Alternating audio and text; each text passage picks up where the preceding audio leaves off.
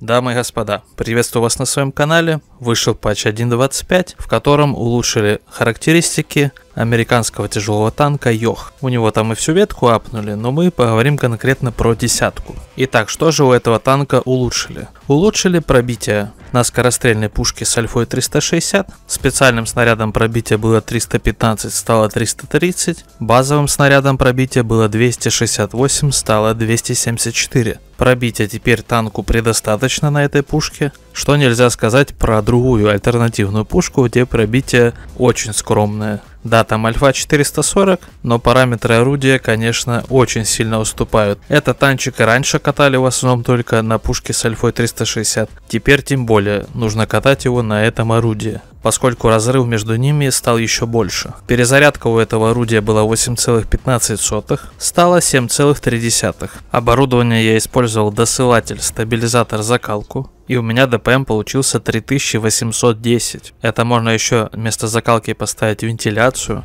и в инструкциях еще поставить досылатель. И ДПМ будет просто космический. Также этому танку улучшили максимальную скорость на 10 километров и максималка теперь 50 километров в час вперед так еще и удельную мощность подтянули, улучшили двигатель. Мощность была 750, стала 820. Орудие вниз опускалось на 10 градусов, теперь на 12. Нам доступны очень жесткие рельефы для игры от башни. К тому же поменялась еще роль танка. Это был универсальный танк, а стал танк прорыва. Ну, с такой скоростью ДПМ можно много чего в рандоме прорвать, но для этого нужен скилл. Сейчас объясню почему. Давайте посмотрим на броню танка. И поймем, почему я поставил закалку, а не что-нибудь еще. Если посмотреть на башню, то мы видим, что там и лючок пробивается несложно, Ниже лючка у нас присутствует крыша, на которой стоит лючок, которая тоже легко пробивается. Да, йох высокий, и эту крышу нелегко выцелить или вообще увидеть. Да и при том, что башня такая узкая, что в принципе эту морду хотя бы в целом на горизонте заметить. Также у нас еще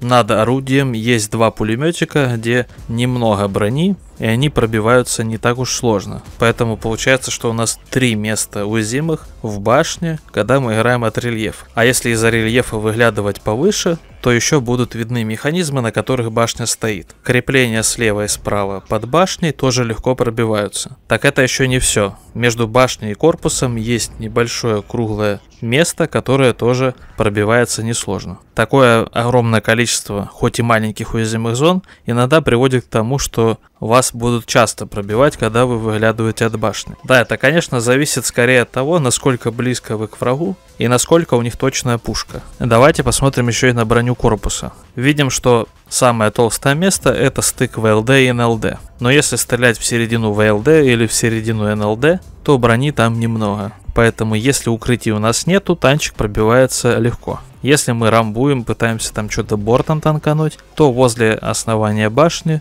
тоже есть место, которое пробивается. Вот получается, что как ни крути танчик, как бы ты там не рамбовал бортом или от рельефа играл от башни, всегда есть место, которое можно пробить. Да, когда играешь от рельефа, в принципе снарядов отлетает от тебя много, но не во всех боях. Иногда так случается, что очень часто эти пулеметики на башне пробивают. Или залетает в лючок. От этого можно спасаться тем, что поднимаешь пушку вверх и лючок прячется. Но под башней тоже есть уязвимые зоны, поэтому нельзя сказать, что это спасение от всего. Также мне иногда залетало рикошетом от ВЛД под башню с уроном. Поэтому я и поставил сюда закалку, чтобы было больше хп, и я в каком-то моменте больше разменивался, если танчик не танкует. И пока я дольше живу, я реализовываю свой бешеный ДПМ, который у меня получился 3800. Также мобильность танка просто зашкаливает, 50 км в полевой модернизации можно превратить в 54, и при удельной мощности 21 танчик носится просто очень быстро. Это скорее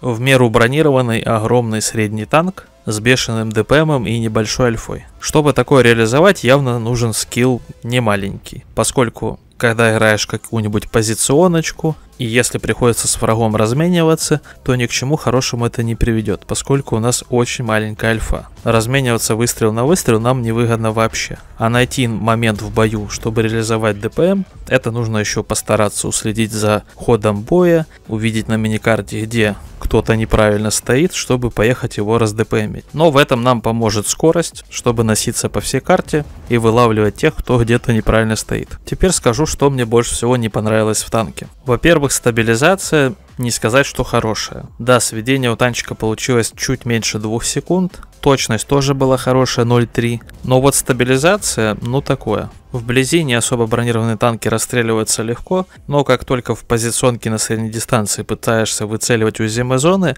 тут иногда возникают проблемы.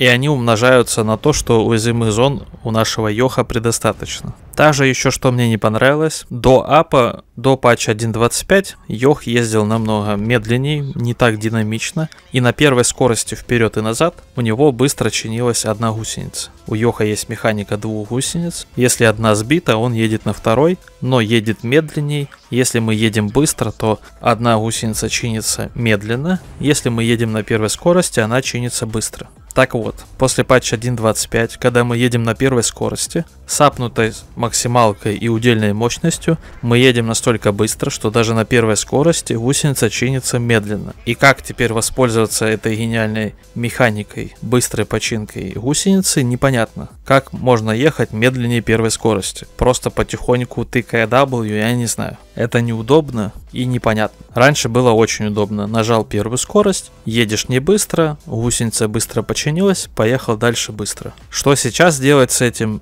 не знаю. Также нужно помнить, что танчик неплохо так критуется в плане боеукладки, ну и также двигатель сзади у нас есть, который может успешно ломаться и гореть. Поэтому корму не стоит подставлять. Ну а что больше всего мне понравилось в танке, это очередной апнутый танк, у которого высокий потенциал, зависящий от скилла. Если у вас высокий скилл, вы можете очень сильно реализовать этот танчик по циферкам, держать высокую средуху и статистику. С одной стороны это нелегко, но с другой стороны это интересно, когда танчик позволяет тебе запотеть и получить хороший результат. После апа буквально за один день я взял на нем три отметки. За последние 15 боев средуха была 5200. В 4000, конечно, на десятки для меня играть несложно, но вот в 5000 плюс далеко не всегда получается. Иногда кажется, что это танчик ну такое. Пока стоишь в позиционке, тяжело, перестреливаешься маленькой альфой, но как только враги где-то дают слабину и дают подпустить к себе Йоха, он подъезжает и просто